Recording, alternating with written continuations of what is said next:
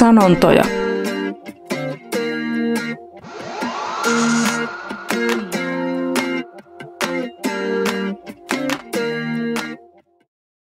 Tässä videossa tutustutaan kahteen suomen kielen sanontaan.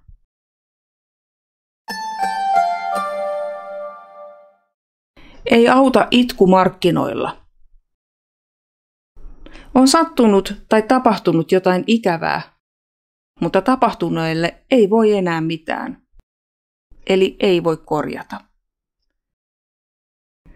Ei auta itku markkinoilla, totesi Lauri, kun sai potkut töistä.